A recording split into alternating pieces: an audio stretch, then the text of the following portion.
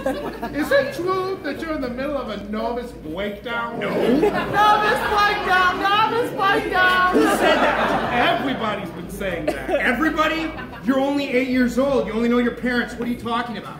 Is it true that you're going to end up in a mental institute? Cuckoo snacks, cuckoo snacks. No! Hey, hey, kids, kids. Now remember what we talked about? Huh? All right, now go over there and watch some television. Yeah. Get out of here! Yeah, can I speak to you for a second, Rob? Everybody?